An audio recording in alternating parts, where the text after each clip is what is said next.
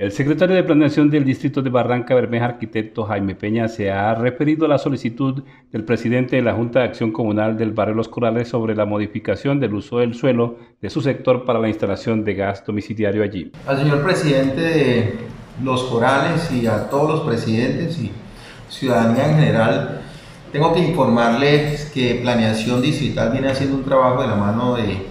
eh, la empresa Gasoliente Banti con el fin de facilitar la instalación del servicio de gas, este preciado servicio que hoy, hoy tanto está requiriendo la comunidad porque sabemos el costo que acarrea la compra de un cilindro de gas para una familia que escasamente le, le dura hasta 20 días. Ha recordado el funcionario cuáles son los requisitos que establece la norma para tal fin. Primero, que no debe encontrarse las viviendas en condición de alto riesgo o en amenaza